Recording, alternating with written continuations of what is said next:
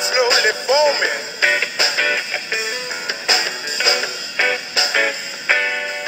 Don't act like you didn't have your fingers in that pie.